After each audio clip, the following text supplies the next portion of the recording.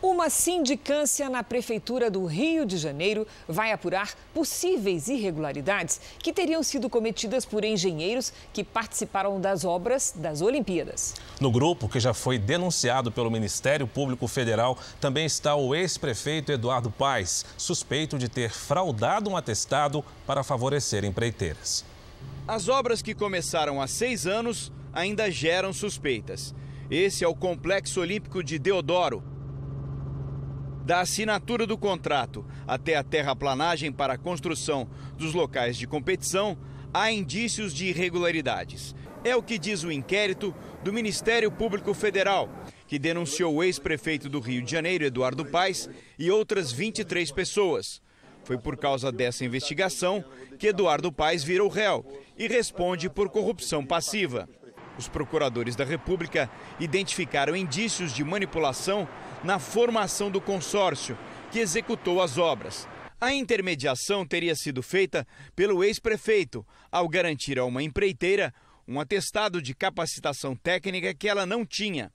Todo o projeto de Deodoro custou aos cofres públicos quase 650 milhões de reais. Para o Ministério Público Federal, Eduardo Paes teria planejado a escolha da empresa, direcionando o resultado da concorrência pública. Esse processo foi ponto de partida para uma outra investigação. A Secretaria Municipal de Infraestrutura vai apurar a suposta participação de nove engenheiros civis que trabalharam nas obras do complexo de Deodoro. Esses funcionários públicos já foram denunciados pelo Ministério Público Federal. Entre eles, Armando Queiroga, ex-presidente da empresa municipal de urbanização, a Rio Urbe. A sindicância terá 45 dias para concluir a investigação.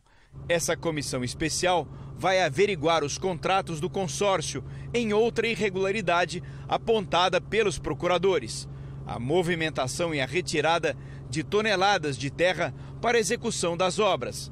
A suspeita é de que a prefeitura comandada por Eduardo Paes, tenha pago 120 milhões de reais por serviços que nunca foram feitos.